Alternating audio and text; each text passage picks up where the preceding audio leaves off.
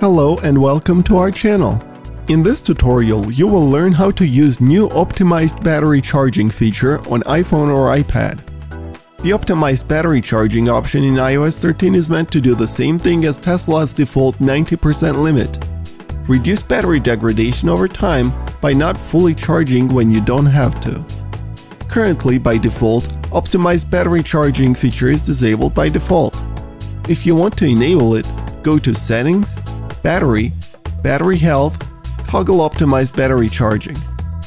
When this feature is enabled, you might sometimes see your battery stop charging at 80%. But don't freak out.